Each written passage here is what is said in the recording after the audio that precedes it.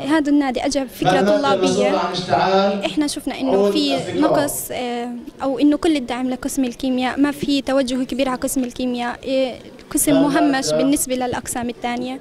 فإحنا كطلاب حسينا إنه لازم نعمل إشي. آه، فعلا اجتمعنا كم الطالب واتخذنا إجراءات آه، لازمة وعملنا هذا النادي تحت إشراف طلابي بحت تحت رعاية مجلس الطلبة وحركة الشبيبة.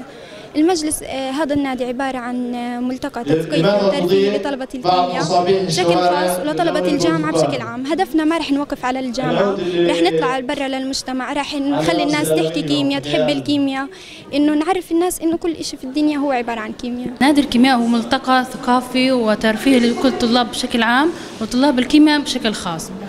آه، هدفنا أن نهدم إن- يعني نحقق أهداف كل الطلاب. أي طلب بدهم إياه إحنا رح ننفذه.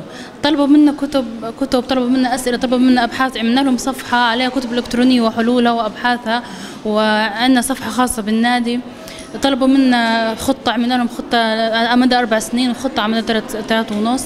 طلبوا منا رحلة ترفيهية رح ننظمها. طلبوا منا معرض رح نكون قائم على الفصل الثاني.